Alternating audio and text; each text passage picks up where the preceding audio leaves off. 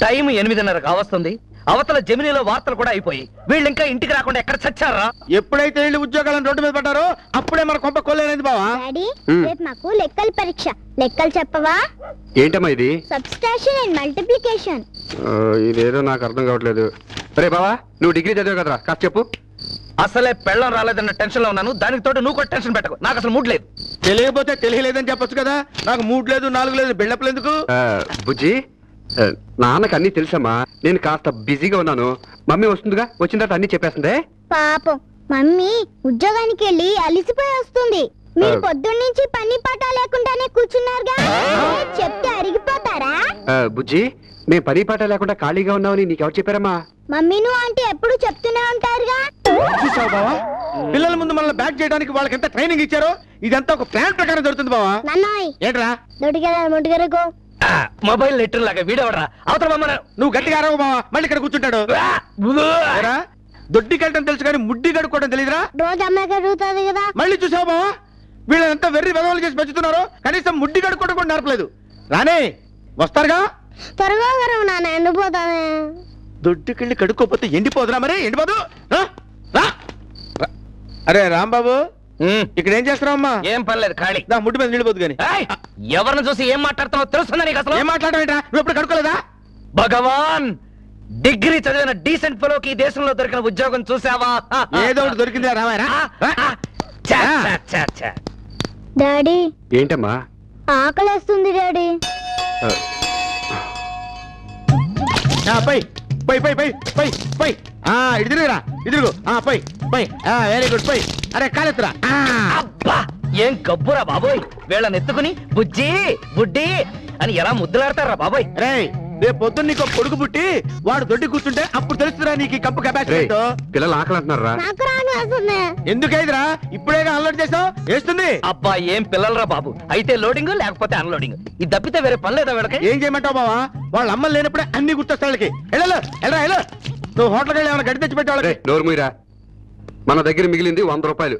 ఇది భోజనాలు కానీ టిఫిన్లు కానీ ఖర్చు పెట్టేసామనుకో రేపు సిగరెట్లకి అగ్గి పుల్లలకు కూడా వాళ్ళని అడుకోవాల్సి వస్తుంది. అందుకని నేను చెప్పేది ఏంటంటే ఏంట్రా? కాముగా మనమే వంట చేసేద్దాంరా? ఇది గుడ్ పాయింట్ ఏంట్రా గుడ్ పాయింట్ గుడ్ పాయింట్ తెగ మురిసిపోతున్నారు. ఒకసారి మనం వంట చేయడం మొదలు పెట్టామంటే మన బతుకులు ఆ బేబీ మొగుడు మాస్టర్ కంటే హీరో అయిపోతారా ఒరేయ్ మనం వంట చేయాల్సింది మన పిల్లలకు భయపడి కాదురా. మన పిల్లల కోసం. ఆ, నువ్వు వంద చెప్పు లక్ష చెప్పు నేను వంటేనా చెయ్యాలరా. ఒక్కసారి బుర్రలో లైట్ వేసుకుని ఆలోచించు. మన పెళ్ళాలు ఇంటికి వచ్చేసరికి బిచ్చగాళ్ళలాగా మనం వాళ్ళ కోసం ఎదురు చూస్తున్నాం అనుకో ఓహో మనం వేసే నాలుగు ముద్దలు తింటే తప్ప వీళ్ళకి దిక్కు లేదు అని మన పెళ్ళాలకి మనం చీప్ అయిపోతాంరా మగాళ్ళు ఏం చేయడానికైనా రెడీ అని మనం నిరూపించుకోవాలి. ఆఖరికి వంటలోనైనా సరే. కరెక్ట్ బా అయితే నా పెళ్ళాం పొగరు ఎడతడానికి వంట పనే కాదు వెంటనే తెస్తాను. అది మగతనం అంటే. అది. ఇదే ఊపులో వెళ్ళి వంట మొదలు పెట్టేద్దాం పదండి. ఒరే ఒక నిమిషం. అందరూ అన్ని చేస్తే లేట్ అయిపోతుందిరా. తలా ఒకటి పంచుకుంటే నేను సరిపోతుంది అన్నం వండుతా. నేను సాంబార్ వండుతా. నేను రసం. పదండి. పదండి. నేను అన్నం వండుతా. నేను అన్నం వండుతా. బాగా లేట్ అయిపోయింది. వీళ్ళు ఏం చేస్తున్నారో ఏమిటో. ఏరా రామలింగ మీ బాబు ఏం చేస్తున్నాడ్రా? వంట చేస్తున్నాడు? నా మగుడు లెట్రిన్కి పోతే బకెట్ల నీళ్ళు కూడా నేనే అందివ్వాలి. అలాంటిది ఆయన వంట చేస్తున్నాడా? అరే రాంబాబు వివాహ భోజనంబు వింతైన వంటకంబు పియ్యాల వారి విందు. రాంబాబు ఏమావా ఏ లేదురా. అన్నం వంట పెద్ద ప్రాబ్లం గా ఉంది. ఎసట్లో బియ్యం పోయాలా? బియ్యంలో ఎసరు పోయాలా? నీ ఎంకమ్మ కొట్టేనంటే చూడు. అన్నం ఉండటం పెద్ద సమస్య. అసలు సమస్య అంతా సాంబార్తో వచ్చింది. ఏంటి బావా? నా పెళ్ళాం బిఏ చదివిందన్న. మాట గాని దానికి కొంచెం కూడా బ్రెయిన్ లేదురా. ఇది సరే ఉప్పు. తెలిసిపోతుంది. కానీ ఇట్లాంటి పప్పు డబ్బాలు పది పదిహేను ఉన్నాయి. అందులో ఏది సాంబార్. వేయాలో దీని మీద రాసి అంటించొచ్చు కదా. ఎలా అనిపిస్తుందిరా ఆవిడ స్నేహం చేసింది ఎవరితోటి? నా బ్రెయిన్లెస్ పెళ్ళంతోటి. మరే సాంబార్ చేయడం కూడా పెద్ద సమస్య. ఆ పప్పు కొంచెం ఆ పప్పు కొంచెం ఆ పప్పు కొంచెం కలిపి కొట్టే అదే సాంబార్ అయిపోద్ది. అద్భుతమైన ఐడియా. అప్పుడు అది సాంబార్ అవుతురా కిచిడి అవుతుంది. ఏంట్రా? మనం వండిందే అన్నాం మనం పెట్టిందే రసం. రసం అంటే గుర్తొచ్చింది. తమరి రసం ఎంతవరకు వచ్చింది బాబు? నూనె వేస్తే అయిపోతుందిరా కానీ కారం దగ్గర చిన్న డౌట్ వెయ్యాలా వద్దా అని. కారం వేసి ఒక రసం కారం వేయకుండా ఒక రసం పెట్టు. బాగుంటే మనం మన పిల్లలు తింటాం. లేకపోతే కుక్కలకు వేస్తాం. అవి కూడా తినపోతే మన పిల్లల మొహన్ రెండు పెడతాం ఒకటే కదా. మీ కళ్ళకి మేము కుక్కల కన్నా హీనంగా కనిపిస్తున్నావా? ఓహో ముందుగానే వచ్చి మా మాటలన్నీ నక్కి నక్కి వింటున్నారా? వినబట్టే కదా మీ గుళ్ళు బుద్ధి బయటపడింది. ఏయ్ ఒళ్ళు దగ్గర పెట్టుకొని మాట్లాడు లేకపోతే పళ్ళు రసంలో కారపొడి వెయ్యాలో వద్దో తెలియదు కానీ నోరు పారేసుకోవడం మాత్రం బాగా తెలుసు. రసంలో కారప్పొడి కాకపోతే ముక్కుపొడి వేస్తాం. అడగడానికి మీరెవరే? ఎందుకింత లేటు?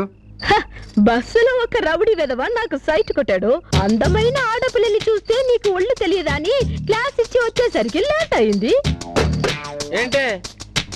నీకు స్ట్రైట్గా ఒకటి సైడ్ కొట్టాడా? యా కొట్టాడు. ఇలా రా. ఇలా రా ఇక్కడ. ఎందుకండి పిలిచారు? నిజంగా మన రొమాంటిక్ లైఫ్ మీద ఒట్టు పెట్టి చెప్పవే. నీ ఫేస్ చూసి వాడు స్ట్రైట్గా సైడ్ కొట్టాడంటవా? నిజంగా కొట్టారండి వాడెవడికో నిజంగా సైట్ ఉండి ఉంటుంది. పోదలకి. అయినా మీతో వాదిస్తూ కూర్చోడానికి మాకు తీరికలేదు అసలే పాపం పిల్లలు ఆకలితో ఉన్నారు. వెళ్ళి వంట చేయాలి. ఇలా ఇవ్వండి. వదలవే మీ పని మీరు చేయలేదు కాబట్టి ఈ పని మేము చేస్తున్నాం. మీకంటే మేము గొప్ప నిరూపిస్తాం. గ్లాసు పట్టుకున్నా గరిటె పట్టుకున్నా మగోడు మగోడే. వంట మేమే చేస్తాం. ఏంటి మీరు చేసేది వంట? అవి బియ్యం కాదు నూకలు. తింటే కడుపు నొప్పి వచ్చి చేస్తారు. ఇదిగో అది నూనె కాదు అవును దాంతో రసం పెట్టుకుని తింటే లూస్ మోషన్స్ అయ్యి పై ప్రాణాలు కింద నుంచే పోతాయి.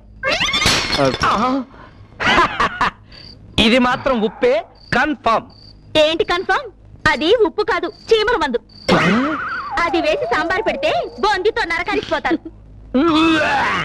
హత విధి. పిలిచినా కలుసుకోలేనంటావా నలుగురు ఉన్నారంటావా? చిలిపిగా చింతకు రాలే